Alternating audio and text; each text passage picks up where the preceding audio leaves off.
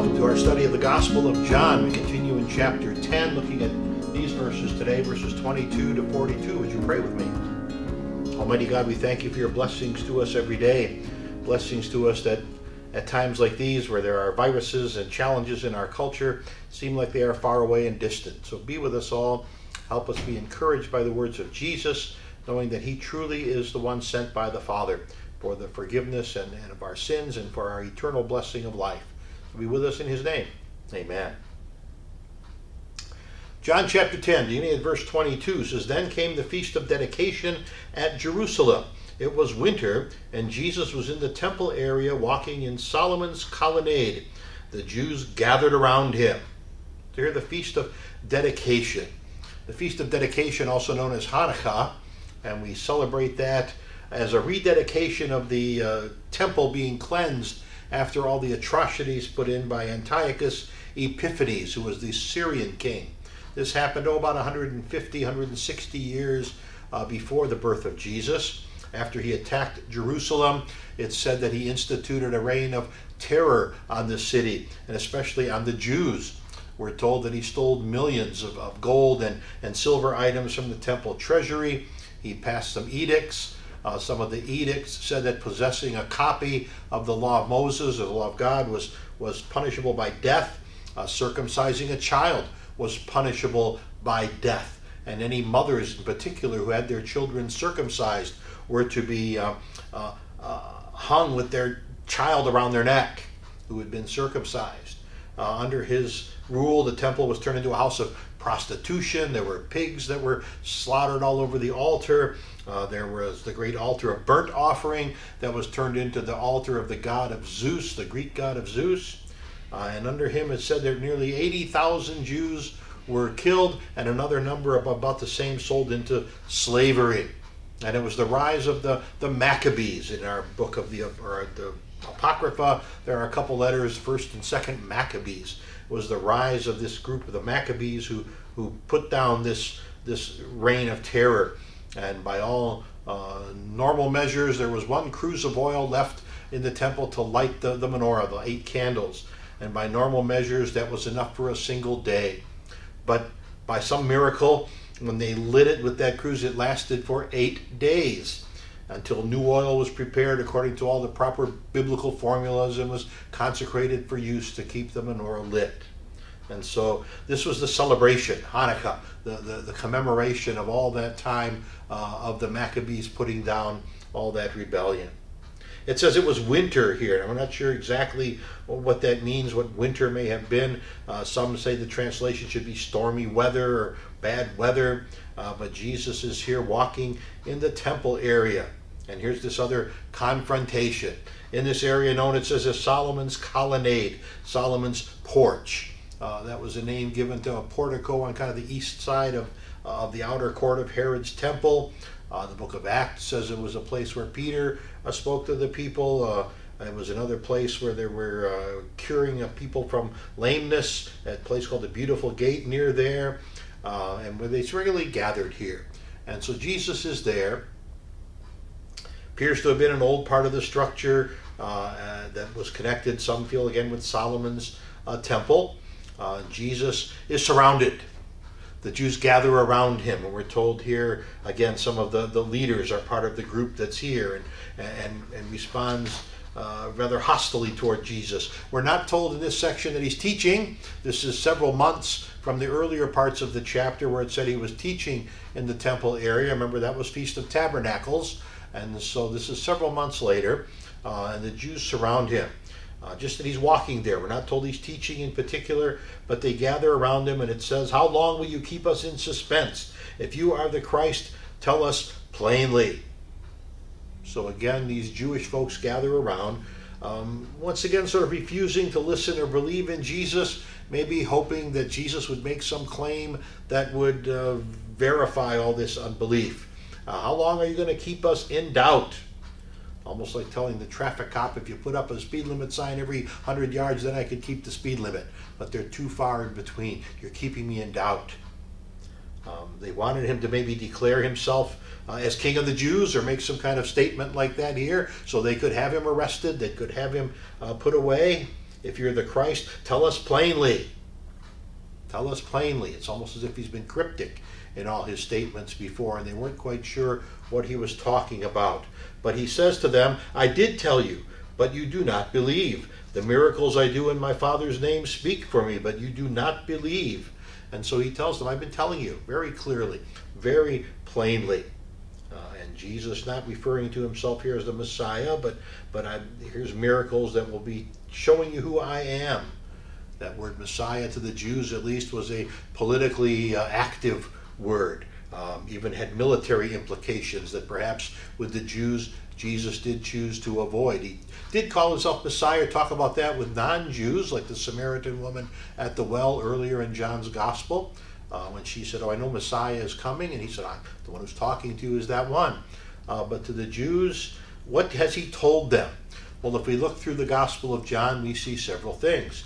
He says, I told you. Well, he said, I'm the one who came from heaven to Nicodemus when he's talking with him. Whoever believes in me has eternal life. Again to Nicodemus, John chapter 3. I'm the unique Son of God. In John 5 and John 6, where he's talking with the people feeding of the thousands. Uh, I will judge all humanity. I told you you should honor me just as you honor a God the Father. I told you that all the Hebrew scriptures speak of me. I told you that I perfectly reveal God the Father to you earlier in John's Gospel. I told you that I always please God. I don't sin in the things that I do in John 8. Uh, I'm uniquely sent from God. Before Abraham was, I am. Remember when they talked about being children of Abraham? He told you, I am the Son of Man, prophesied by Daniel to the blind men as he's talking with all that section. He told you, I am the bread of life. I am the light of the world. I am the door. I am the good shepherd. I will raise myself from the dead. Earlier in the chapter, he talked about that. So he's told them many things. The problem necessarily wasn't that he was unclear about who he was and where he came from, because they kept asking. The problem was these religious leaders had, had hearts of unbelief that perhaps they wanted to blame on Jesus. Notice he says, You did not believe. He says, You do not believe. Kind of a present tense structure there, saying this continues in you, this unbelief. And so the works I do, the miracles I do in my Father's name, they bear witness to me. But you do not believe. So even all these works, these miracles that he had done, uh, healing of a blind man, and all the others before that, changing water into wine, the very beginning, the first of those miracles. All these works tell you what and who I am. They're done in my Father's name, he says. But you do not believe because you are not my sheep. As I said to you, my sheep hear my voice. I know them, they follow me, I give them eternal life, and they will never perish. No one can snatch them out of my hand. My Father who's given them to me is greater than all. No one can snatch them out of my Father's hand. I and the Father are one.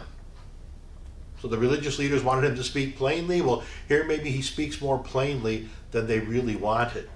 Earlier in the chapter, we saw the thing about shepherds. I am the good shepherd, and, and you're not being good shepherds, he applied to them. Now he says, You're not even good sheep. You're not even worthy of being called sheep, because the Messiah's sheep, the, the, the Son of Man's sheep, believe and hear his voice. So that must have been even harder words for them to hear. Not only are they classified as not good shepherds, but they're no longer worthy to be classed among sheep that pay attention to the voice of their good shepherd. Your unbelief, evidence, Jesus might say, that you're not chosen by God. You're not who you think you are. And it's not saying that they could not believe because God has somehow made it impossible for them to believe. It's an unbelief because they did not hear and follow Christ. Uh, wow.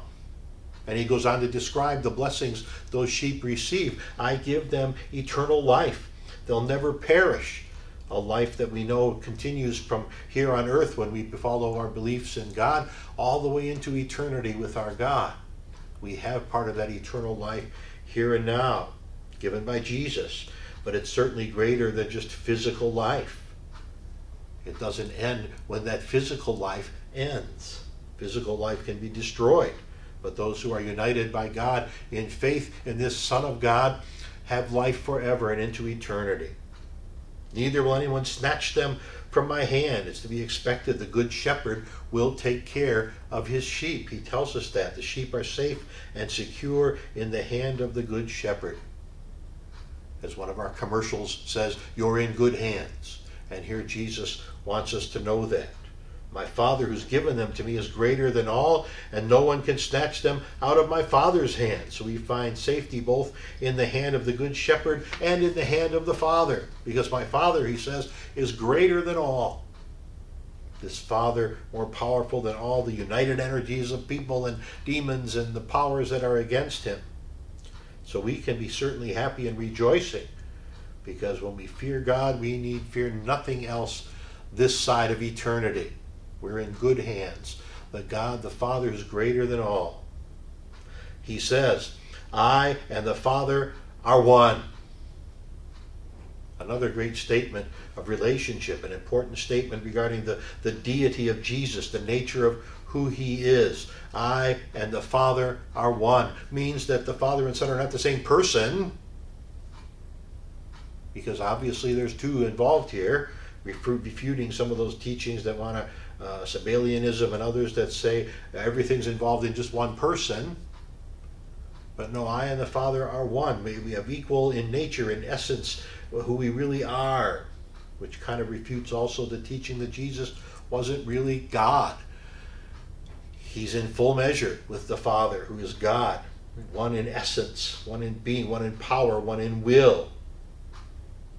And so, because of the way in which it's structured in the Greek, the, the one is, is what we call neuter in gender. It's not masculine. The Father and the Son are one in that masculine sense would mean uh, they are personally one, but here it means they are essentially one. One in essence, uh, one in being, one in spirit, one in power. That's the nature. Uh, opponents of that, opponents of Jesus being God, want to say the oneness Jesus had with the Father was just a oneness in, in, in purpose and in mission. He really wasn't God, but he had the purpose and mission of God in mind with him. Like a husband or a wife or a father and a son may have some unity of purpose and mission, but yet they still are not the same person. But that seems to miss the whole point of what Jesus is trying to get at here. First, we never argue the Bible teaches that the Father and the Son are the same person. They are one God, but distinctive in persons. We talk about the Father, the Son, and the Holy Spirit as being very distinct persons and yet one God. If you miss the point, uh, that even the true unity of purpose and mission is involved in a certain unity. Even when a husband and wife are united in their purpose and mission, or a father and son are united in their purpose and mission, they still are each equally and totally human. They are separate but united. The Father and the Son have that unique unity because they are equally and totally God. That's the way they have that unique mission. Jesus wants us to be one as He and the Father are one. And that cannot exist without that faith, that equality of essence. And Paul tells us in his writings, and Jesus mentions here, that we all have that unity, that same essence. So many miracles I have shown you, he says. All these things are done at the Father's direction. They were good because they were acts of obedience to the Father, acts of blessings to his creation. But notice again the reaction. Again, it says, the Jews picked up stones to stone him. And so Jesus asked, Well, I, have shown you all these miracles, all these things that come from the Father. For which of these are you going to stone me? Which one? Well, they can't answer that specifically in that way. And they say, No, it's not for any of those things you did, replied the Jews, but for blasphemy. Because you, a mere man, make yourself God, claim God for yourself. So the Jews of Jesus' day, very interesting statement here. We don't stone you for any of these miracles you did, but because you, a mere man, claim to be God. Apparently, these Jews understood something that many of our groups today, maybe groups like our Jehovah Witness friends or our Mormon friends, don't seem to understand. Jesus clearly is claiming to be God. And they understood that. We need to stone you for that. It's very clear that you are claiming to be God. He's not making himself anything, but in word and in work, showing himself to be what he truly is the Son sent by the Father to bring life and light to our world. It was blasphemy to claim to be God. It's noteworthy that Jesus here uh, never gets upset with this charge, never gets upset with them because he knows it's the truth. If he were a mere man, he would seem to be very upset with that claim because it means he's going to be stoned and put to death. He would not be excited about this claim that they're making. And Jesus goes on. Jesus answered them, Is it not written in your law, I have said you are gods? If he called them gods to whom the word of God came, and the scripture cannot be broken, what about the one whom the Father set apart as his very own and sent him into the world? Jesus answered them. These religious leaders were gathering these rocks to stone him, but he didn't panic. He didn't run. He stops them, in essence, with the power of the word. He answered them perhaps as we might say an educated rabbi would speak to other rabbis and Jewish leaders, would perhaps seek to uh, rebuke the charge of refute the charge of blasphemy by, by an argument from Scripture with something they're familiar with, something they would know and could understand. Is it not written in your law? I said you are gods. And this is going back to the Psalms, a quote from Psalm 82. You were called gods because of the, their office. These judges we're talking about were called gods because in their office they determined the fate of other men. So God calls these earthly judges gods in that sense. And the word law here is it written in your law seems to be the broader sense, the whole Old Testament, um, not just a specific point or a specific place. So if he called them gods to whom the word came, if God gave these unjust judges the title gods, would you consider it blasphemy if I call myself the Son of God and the testimony of all the works I've done and all the things that are there. If any would sense, yes, they could be called gods because they had to judge and do things. How much more this one who has done the miracles, who has been sent by the Father into the world to redeem the world, to show them the idea of man and God being one wasn't necessarily alien, even from their old Old Testament scriptures, even from the law but it's set forth there in various types and various shadows of him, the real God man, the one who had come as fulfillment of all those prophecies. And he says, and the scripture cannot be broken. It's a general rule for all scripture, Jesus applying it here to, to even this rather obscure passage, perhaps, meaning the scripture can't be emptied of its force. And he says, if that's how we believe and understand that, that Scripture cannot be annulled or made void, not in some declaration that can be regarded as a key declaration, but what some might call a rather run of the mill passage, then how much greater him who the Father sanctified and sent into the world. Wonderful way, perhaps, for Jesus to speak of himself here. He's the one whom the Father sanctified, the one whom the Father sent into the world. And so here he's saying that you may know and believe all this. If he called them gods to whom the word of God came, what about the one whom the Father set apart as his very own and sent him into the world? Why then do you accuse me of blasphemy because I said, I am God's Son? Do not believe me unless I do what the Father does. But if I do it, even though you do not believe me, believe the miracles, that you may know and understand that the Father is in me and I in the Father. So again, wanting to show that indication of, of connection but yet it says, Therefore again they tried to seize him, but he escaped out of their hand. Once again, these enemies of God try to grab him and try to put him to death in some way. Maybe they're still hanging onto those stones and ready to, to throw them. But it says he escaped their grasp. And then it says Jesus went back across the Jordan to the place where John had been baptizing in the early days. Here he stayed, and many people came to him. They said, though John never performed a miraculous sign, all that John said about this man was true. And in that place, many believed in Jesus. What an interesting close to this section. He didn't remain in Jerusalem, where he'd been well, at the feasts and the festivals that were there among these hostile religious leaders. But knowing the time was short, because very soon he's going to be arrested and crucified. We're going to follow along in the next few chapters, all that he goes to the other side of the Jordan, area of Perea. Herod Antipas uh, is sort of in power over here. The rulers in Jerusalem don't have a lot of authority over here, so safe from harassment at least temporarily. In the place where one might have thought he would be welcomed in the temple and teaching in there, these leaders seek to stone him. Now he goes a, across the, the Jordan to this area where we might think people would despise him, but it's as many believed in him. Wow. So here Jesus goes across. And notice it says where John had been preaching and teaching early on, perhaps even near the area where he was baptized when he began his public ministry.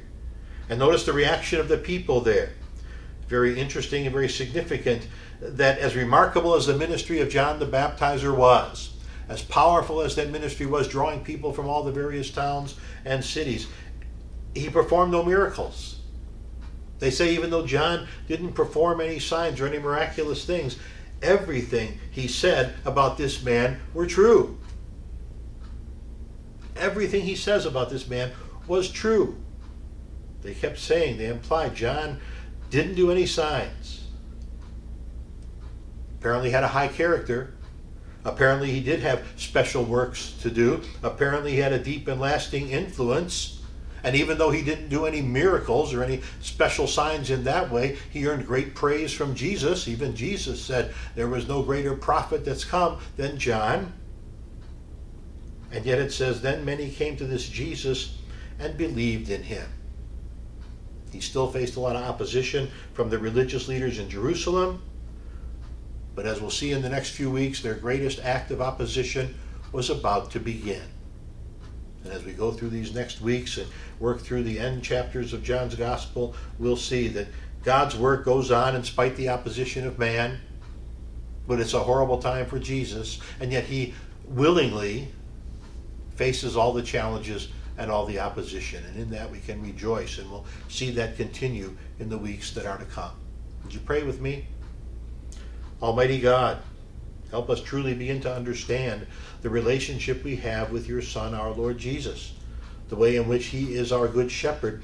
We are his sheep, that we listen to his voice as, as good sheep listen to the voice of their good shepherd, that he cares for us like that good shepherd. We are truly in good hands in all that we do, even in the midst of the challenges that are around us now. So help us walk closely with that good shepherd, listening to his voice in all things we do this day and always, for Jesus' sake. Amen.